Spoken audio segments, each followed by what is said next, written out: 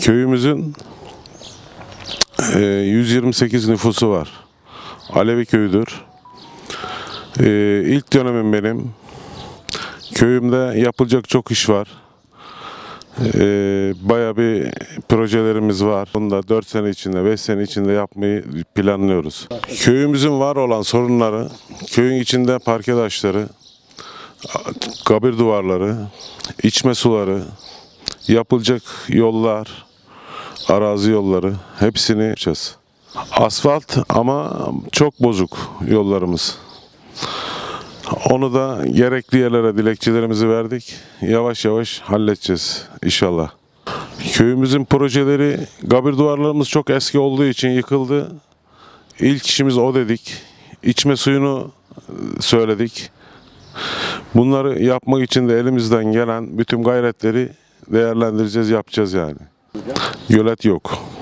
Gölet yok. Su sulanmıyor. Köyümüzde su öyle basit şey yapmıyorlar. Kuyu falan çaktırmıyorlar.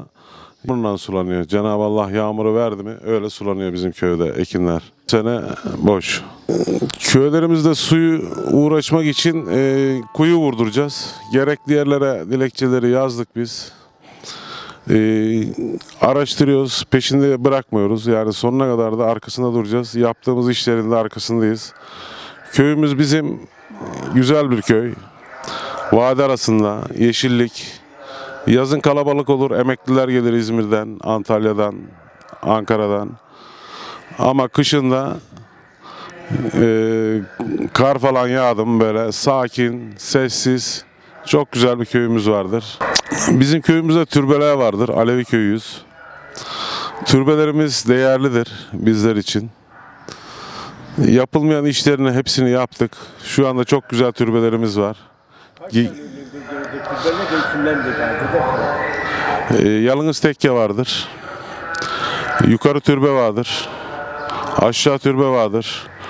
Yani çok güzel türbelerimiz vardır. Zaten iki tanesi köyün içindedir. Yani biz hep birlikten yanayız.